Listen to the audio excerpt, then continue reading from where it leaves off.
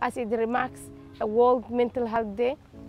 I want every mother to join a dear daughter and bless their own daughters to say, dear daughter, what happened to me, I wouldn't allow it to happen to you, and stop the cutting.